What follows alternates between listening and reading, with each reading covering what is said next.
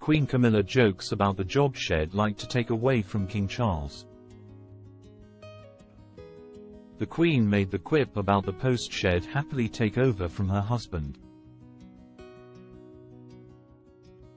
Queen Camilla has revealed the royal role she'd like to take over from her husband King Charles. The Queen, 76, brought up the topic during her visit to the Garden Museum in London on June 12 as she toured the Gardening Bohemia. Bloomsbury Women Outdoors exhibit. In an impromptu speech, Queen Camilla said, I don't know how many visits I've paid here, quite a lot. I know my husband's patron but I might have to nudge him. I'd quite like to take that one away from him. Her honest comment sparked laughs from those gathered, and she added, It's such a special place that every time I'm asked. I just have to come back again and I think this wonderful exhibition celebrating women in gardening is so important. Beyond his key roles as Sovereign of the United Kingdom and Commonwealth realms, Commander-in-Chief of the Armed Forces and Head of the Royal Family. King Charles is also Royal Patron of the Garden Museum, among many other patronages. The King, 75, continues in the post he previously held as the Prince of Wales, aligning with his lifelong passions of gardening, sustainability and the outdoors. The role is one of several that the King has retained in the transition since his accession in September 2022. On May 3, Buckingham Palace shared a major update about the Royal Patronage Review of the organizations that Queen Elizabeth formerly supported. It's understood that the late Queen was patron of 492 groups at the time of her death and the palace announced that 376 will be retained by King Charles, Queen Camilla or other members of the royal family. Following His Majesty, the King's accession in September 2022, a major review of more than 1,000 royal patronages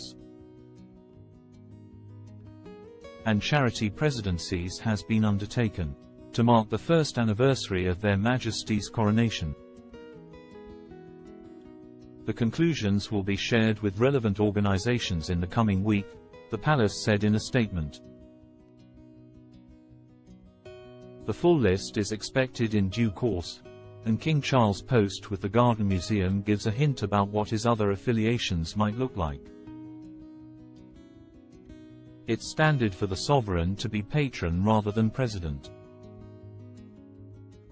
and members of the royal family are not involved with the governance or daily operations of the organizations they support.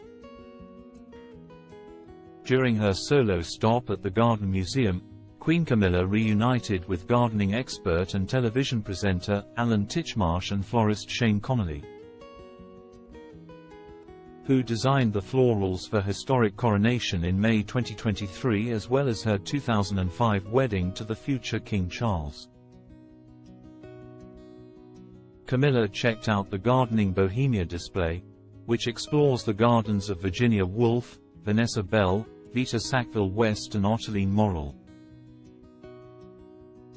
as well as a 17th-century tapestry and plans for the designs of the gardens at Buckingham Palace. She also popped into a Clay for Dementia session inspired by the exhibit, and met volunteers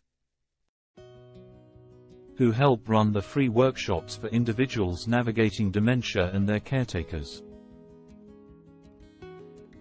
Queen Camilla received a posy on her way out of the Garden Museum, and stopped to smell the flowers. Queen Camilla spoke about her love of gardening in the documentary that accompanied her Country Life magazine cover in 2022.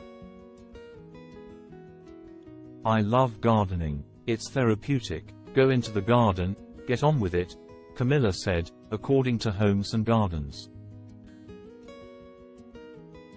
This weekend, Queen Camilla will ride alongside King Charles at Trooping the Colour as he participates in the parade in a modified way amid his cancer treatment.